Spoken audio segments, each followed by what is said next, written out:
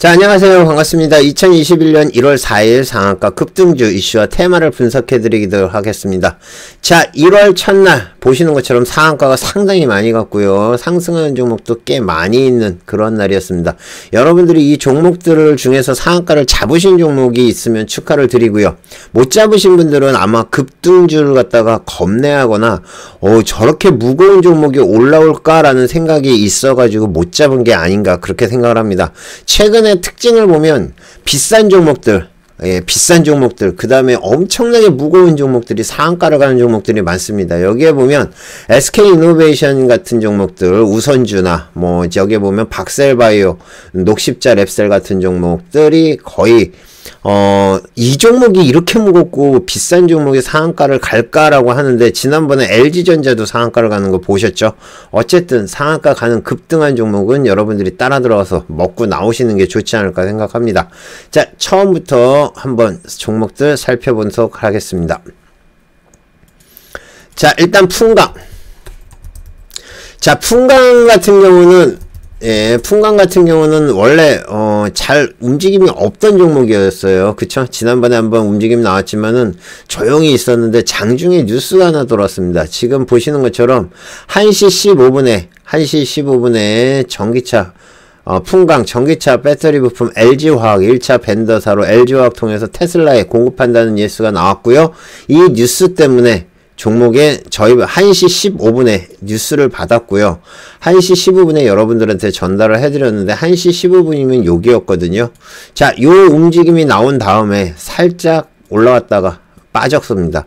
그 다음에 다시 살짝 수급 들어오고 그 다음에 또 빠졌고요. 그렇지만 갑자기 수급이 들어오면서 움직임이 나와서 얼음 2차 얼음이 된 다음에 바로 그냥 상한가로 붙어버렸습니다. 놀래가지고 뭐였는데 뉴스가 나온 다음에 아주 강하게 붙어버렸어요. 이슈는 아까 말씀드렸던 전기차 배터리 부품 LG화학 1차 벤더사 LG화학 통해서 테슬라에 공급한 거 한 개. 그 다음에 현대차에서 2월 아이오닉 5 전기차죠. 전기차 전용 플랫폼이죠. 아이오닉 5를 공개 예정한다는 것 때문에 지금 자동차 부품, 거기다 전기차 부품 관련한 종목들이 전부 다 올라오면서 풍강이 이슈를 먹은 거라고 보시면 될 것 같습니다. 아시겠죠? 자, 두 번째, SH에너지와 자, SH에너지화학은 특별한 이슈가 없고요. 오늘 올라올 만한 상황이 아니었습니다. 그런데 제가 장중에 이러한 뉴스를 받았습니다. 지금 보시면 뉴욕 증시 중국 3대 통신사 이어서 어, 석유화학도 퇴출 가능성 요것 때문에 지금 아마 올라온 게 아닌가 그렇게 예측을 해보는데 아마 맞을 것 같아요. 근데 이미 아침장부터 11시부터 시작을 해서 이슈가 나와가지고 지금 보시는 것처럼 쭉 올라가서 갔는데 장중에는 장중에는 이렇게 뉴스가 특별한 뉴스가 나온 게 없습니다. 예, 지금 보시면 특별한 뉴스는 없는데 얘가 올라온 게 다른 이슈도 있을 것 같긴 한데 남북 경협 테마가 올라왔다고 그러는데 말도 안 되고요. 예, 이거는 말도 안 되고 어 제가 봤을 때는 뉴욕 증시에서 뉴욕 증시에서 어 중국의 석유화학 관련한 종목 퇴출 상패죠. 상패한다는 것 때문에 지금 그 이슈 때문에 SH 에너지화학이 상한가를 간 게 아닌가 예, 그렇게 생각을 합니다. 현대위아 자 현대위아는 지난 마지막 날 마지막 날 보시는 것처럼 상승세를 보였어요 현대위아가 자 종목이 아 이제는 움직임이 나올 수도 있겠구나 현대위아 같은 종목은 원래 거의 움직임이 없는 종목이었고요 진짜 어, 조용하게, 조용하게 진짜 계속 좀씩 좀씩 움직임 나왔는데 오늘 드디어 뿜었습니다. 현대위아도 거의 어떻게 보면 매집된 차트가 아닐까 할 정도로 예, 급등을 했는데 이 종목은 원래 이렇게 튀는 종목이 아니었는데 아침에 장이 시작하자마자 지금 보시는 것처럼 17분 만에 상한가를 찍어버렸습니다. 후다닥 해가지고 상한가를 찍었는데 어, 현대차에서 2월 아이오닉5 공개 예정하는 것 때문에 현대차 부품주 현대위아가 지금 보시는 것처럼 상한가를 갔는데 아침에 일찌감치 상 찍고요. 그 다음에 장중에 쭉 뺐습니다. 그 다음에 오후장에 상한가를 만드는 모습이었는데 아이오닉5 관련한 걸로 해서 전기차 관련한 전기차 부품주들 있죠. 예, 앞으로 계속 이슈가 되지 않을까 생각을 하는데 그것 때문에 SK 이노베이션도 움직임 나왔거든요. 어쨌든 어, 종목들 차근차근 보겠습니다. 자, 전기차 부품, 자동차 부품주로 해서 움직임 나온 걸로 보시면 될 것 같습니다. 자, SK이노베이션 우선주. 자동차 배터리 관련한 종목이죠. 그죠? SK 이노베이션 상한가, 우선주가 상한가를 갔고요. SK 이노베이션 같은 경우는, 어, SK 이노베이션 같은 경우는 지금 21%까지 올라왔을 겁니다. 자, SK이노베이션 21%, 고점은 25% 찍고 장 후반에 좀 밀렸는데 우선주는 그냥 상한가를 들어갔습니다. 얘도 아침부터 살살살 움직임이 나왔었고요. 얘도 이렇게 비싼 종목이 이렇게 움직일까라고 했는데 진짜 가더라고요. 요즘 시장에 돈이 넘치긴 넘치나 봐요. SK이노베이션 우선주 같은 경우도 지금 상한가를 갔는데 얘도 뭐 일반 주식이랑 똑같죠. 일반 주식이랑 똑같은데 지금 보시는 것처럼 아침에 조금씩 조금씩 움직임 나오고요. 중간에 한번 튀었다가 죽고 튀었다가 죽고 하면서 올라왔는데 어 12시쯤에 상한가를 들어갔습니다. 얘도 마찬가지 주수죠. 삼성 SDI 네, 삼성 SDI, 삼성, 아, 현대자동차, EV 전용 플랫폼 3차 배터리 공급사의 최종 후보로 선정했던 이유로 얘도 올라왔고요. 그러면 삼성 SDI도 봐야죠. 삼성 SDI. 삼성 SDI는 지금 보시는 것처럼 얘도 거의 폭등 수준입니다. 예, 이제껏 전기차 배터리 7%, 어, 4% 지금 다시 올라오고 있는데 얘네들도 지금 앞으로 더 가겠죠. 지금 현대차 배터리 부품, 배터리 관련한 종목, 어, 현대차 배터리 관련한 종목뿐만 아니라 2차전자 관련한 종목, 2차전지 관련한 종목들은 전부 다 움직임이 좋고, 여기 LG화학도 같이 한번 보세요. LG화학도 오늘 8% 가까이 상승을 했습니다. 자, 85만원이에요. 그쵸? 자, 보시는 것처럼, 올해도 제가, 어, 아침에 장 시작할 때 말씀을 드렸을 겁니다. 올해 만약에 본다고 그러면 배터리 관련한 종목들, 2차전지 관련한 종목들이 전체적으로 괜찮을 것 같고, 그 다음에, 우리 반도체 관련한 종목도 있죠. 반도체, 뭐, 삼성전자나 SK 하이닉스, 그 다음에 그 관련된 부품주들 같이 보시라고 말씀드렸는데, 어쨌든 전기차에 관련된 거, 전기차 배터리에 관련한 종목들은 앞으로도 계속 올라가지 않을까, 그렇게 보고 있습니다. 가장 강한 이슈 중에 하나죠. 그리고 성장성도 충분하고요. 그렇게 보시면 될 것 같습니다. 자, 녹십자 랩셀. 자, 녹십자 랩셀은 제가 장중에 말씀드렸던 종목입니다. 녹십자 랩셀, 녹, 그 다음에 녹십자 홀딩스, 그 다음에 녹십자까지 세 종목을 말씀을 드렸는데, 지금 보시는 것처럼 녹십자 같은 경우는 모더나 코로나19 백신 CMO, 기대감으로 올라왔는데 녹십자 랩셀이 올라오는 거는 좀 의외였어요. 저는 녹십자 홀딩스를 보고 있었는데 녹십자 랩셀이 지금 보시는 것처럼 상승을 해서 상한가를 갔고요. 그 다음에 녹십자 홀딩스가 상한가를 찍고 장 후반에 조금 밀렸어요. 그쵸? 지금 보시는 것처럼 녹십자 홀딩스 같은 경우도 움직임이 상당히 좋았고요. 그 다음에 여기에 저 같은 경우는 녹십자까지 같이 봤거든요. 녹십자 같은 경우는 지금 장 후반에는 좀 많이 밀렸지만은 얘 얘도 지금 보시는 것처럼 23%까지 이 최고점이 23%예요. 23%까지 갔다가 빠졌습니다. 뭐 녹십자 MS나 뭐 녹십자 관련한 종목들 그러니까 녹십자 붙어 있는 종목은 다 올라왔는데 일단은 녹시 오늘은 녹십자 랩셀이 대장이었고요. 녹십자 랩셀이 대장이었고 그 다음에 녹십자 홀딩스 녹십자까지 움직임 나왔다고 보시면 될 것 같습니다. 앞타바이오 앞타바이오도 이거는 저는 가지고 있는 종목이에요. 앞타바이오 제가 말씀드렸죠. 아침에 예, 세게 올라온다고요. 그쵸? 세게 올라온다고 말씀드렸는데 앞타바이오는 코로나19 치료제 APX115 미국 FDA 이상 임상 시험 신청 상한가인데 자, 최근에 제가 계속 말씀드린 게 있습니다. 신규주 잘 보시라고요. 그쵸? 최근에 신규주의 움직임이 상당히 좋다고 말씀드렸는데, 지금 보시는 것처럼 신규주 관련한, 물론 앱타바이오 같은 경우는 조금 오래됐어요. 그쵸?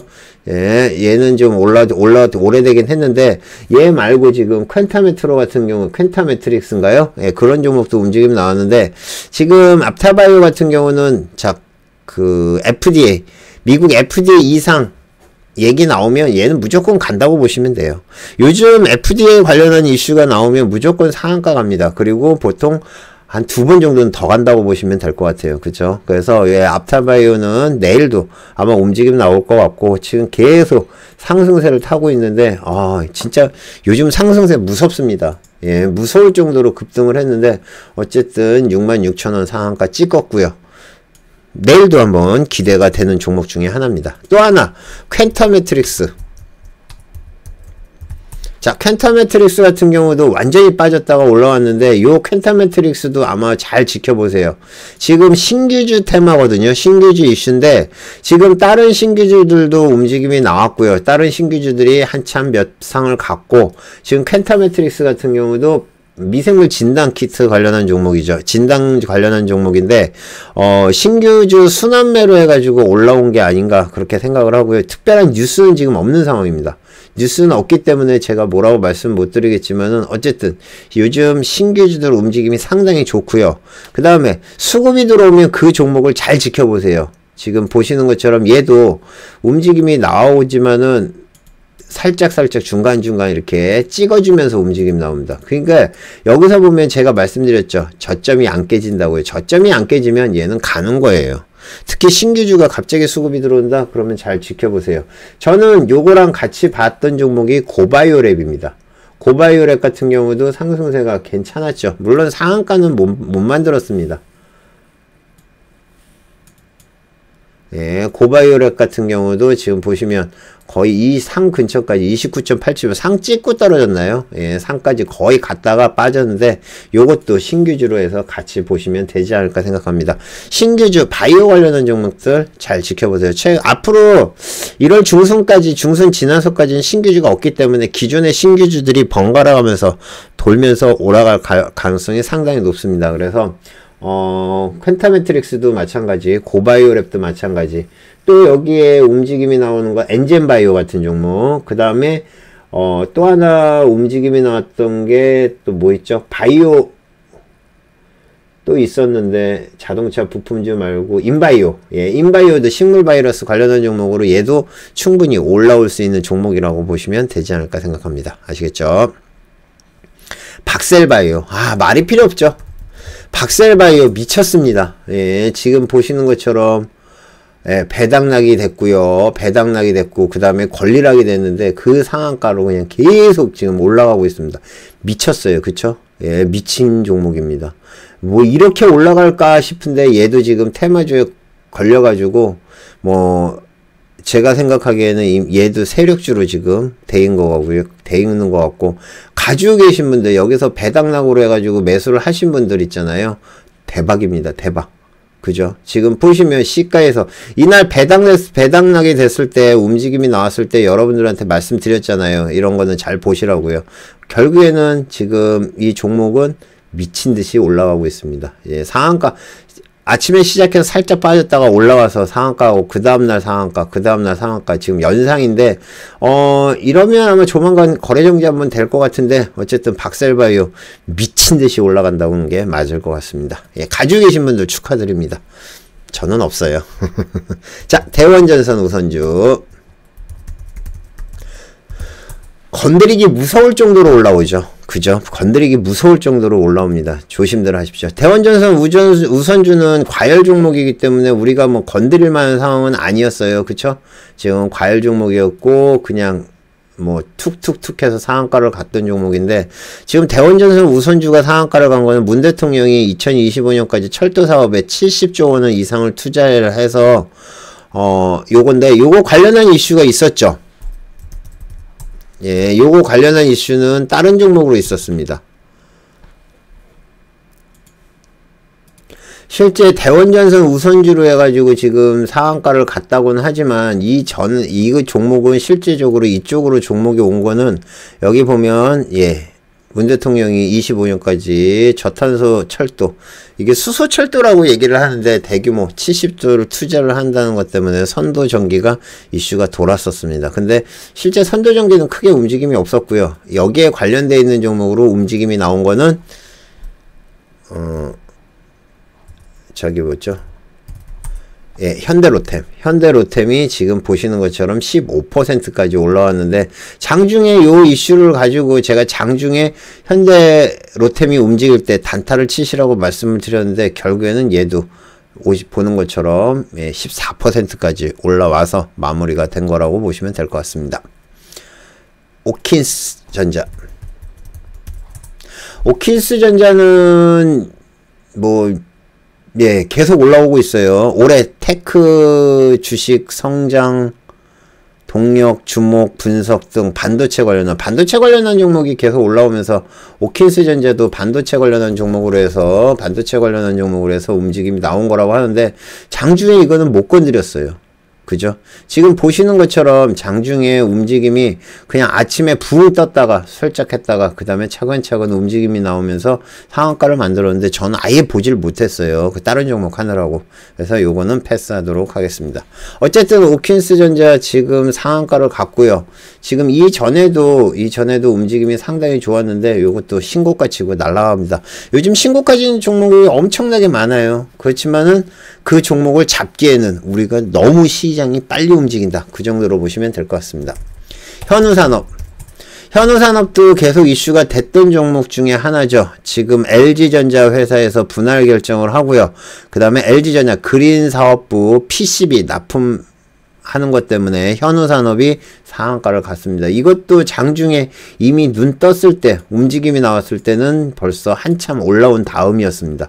지금 보시는 것처럼 살짝 눌러주고요. 그 다음에 다시 올라와서 상한가까지 갔는데 지금 뭐 11시 23분에 상한가를 갔으니까 20, 20분 정도 만에 상한가를 간 거죠. 그러니까 요런 것들, 이렇게 빠르게 움직이는 것들을 여러분들이 잡을 수 있느냐? 아마 잡지 못하시는 분들이 많을 겁니다. 겁나시는 분들 많을 거예요. 근데 겁내시지 마시고 여러분들이 과감하게 매매를 하시면 수익이 나지 않을까 생각합니다. 자, SNK.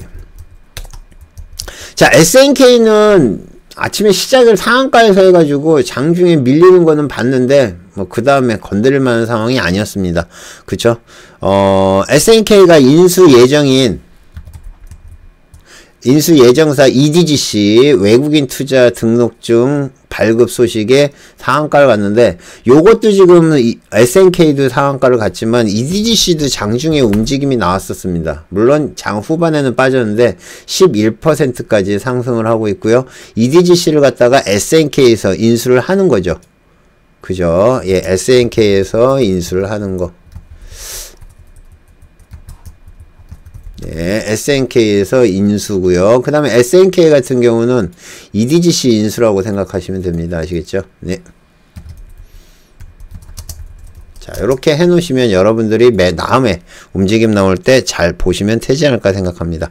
자, 모아텍. 모아텍은 예전에 유명했던 종목이죠. 초저유동성 종목이요. 그리고 툭 치면 상한가 가는 종목. 모아텍. 지금 보시는 것처럼 이것도 뭐 쭈쭈하게 움직임이 나오면서 오후에 상한가를 가는 모습을 볼 수가 있습니다. 그쵸?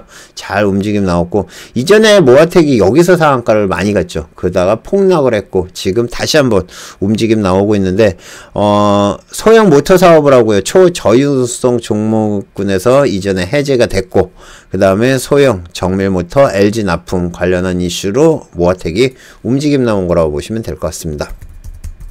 자, 대원전선. 아까는 대원전선 우선주. 지금은 대원전선. 얘도 아침에 일찌감치, 예, 일찌감치 갭으로 떠가지고 지금 보시는 것처럼 대원전선 쭉 해서 올라왔다고 보시면 될 것 같습니다. 아시겠죠? 그 다음에 인포뱅크. 인포뱅크는 애플 차죠. 애플카 관련한 종목입니다. 애플카 관련한 종목으로 해서 어, 애플카 관련한 종목으로 해서 움직임이 나온 거라고 보시면 될 것 같고요. 어, 황교안 쪽은 이제 끝났죠. 그죠? 애플카 관련한 종목으로 해서 인포뱅크 오늘도 아침에 얘도 그냥 꾸준하게 올라오면서 지수가 올라오면서 같이 상한가를 간 종목이라고 보시면 될 것 같습니다. 지수가 급등을 하면서 애플카 관련한 이슈, 전기차 관련한 이슈로 해서 상한가 간 종목이라고 보시면 될 것 같고요. 녹십자 홀딩스. 자, 녹십자 홀딩스. 자, 녹십자 홀딩스는 말씀드렸던 것처럼 아까도 녹십자 랩셀이라는 말씀드렸죠. 어, 녹십자가 모더나 코로나19 백신 CMO 기대감으로 해가지고 지금 보시는 것처럼 상한가를 갔습니다. 뭐 상한가에서 살짝 밀리긴 했지만 녹십자 홀딩스도 뭐 상한가나 다름없죠. 아마 내일도 움직임 나오지 않을까 생각하는데 모더나 뿐만이 아니라 지금 요거 말고 아스트라제네카 관련한 이슈도 계속 나오고 있고요. 아스트라제네카도 영국이랑 그 다음에 인도에서 승인이 난 다음에 우리나라에서도 지금 승인 작업을 진행 중이라는 것 때문에 어 캐몬. 예 캐, 아, 아니죠 캐몬 맞죠? 예, 캐몬 같은 것도 지금 보시는 것처럼 급등을 했습니다. 아스트라제네카 관련한 종목으로. 그래서, 어, 요게 어떻게 될지는 모르겠지만, 아스트라제네카 관련한 종목들도 계속 지켜보시고요. 특히 모더나 CMO 관련한 종목, 녹십자, 그 다음에 또 한 종목이 있죠. 음, 그, 뭐죠? 한미. 한미사이언스, 한미사이언스도 같이 지켜보시기 바랍니다. 오늘 종가에 매수를 했는데 시간외로 어떻게 됐는지 모르겠습니다. 어쨌든 CMO 관련한 종목이라고 보시면 되지 않을까 생각합니다. 아시겠죠? 유테크.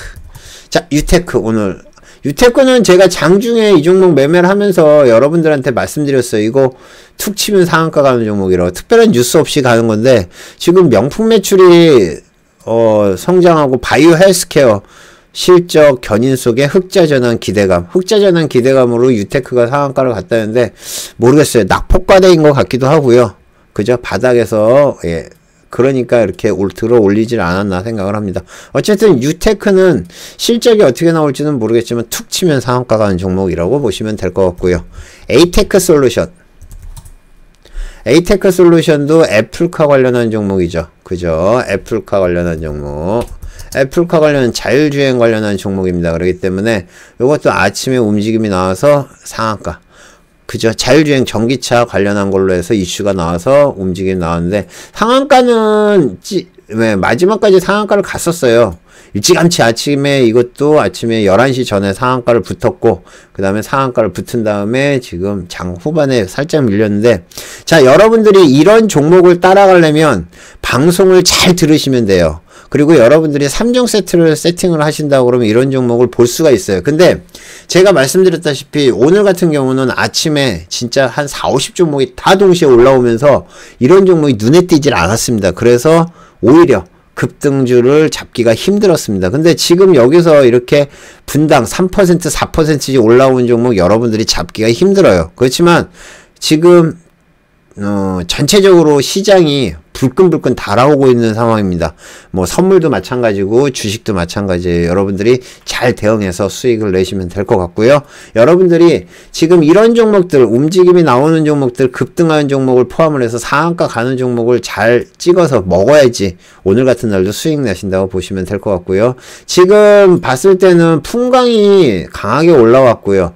그 다음에 신규주 아, 앞타바이오 그 다음에 녹십자 랩셀 켄타메트로 같은 종목들 요런 종목들 잘 지켜보시기 바랍니다. 어, 월요 내일이죠. 내일도 아마 이 종목들은 갭으로 떠서 움직임 나오지 않을까 생각하고요. 운 좋으면 상승세 꽤 세게 나올 것 같습니다. 아시겠죠? 자, 모두 성투하시고요. 예, 수익들 많이 내시고요. 2021년 1월 4일 상한가 급등주 이슈와 테마 분석해드렸습니다. 모두 성투하시고요. 수익들 많이 내시기 바랍니다. 감사합니다. 마치겠습니다. 이상 포카나인이었습니다.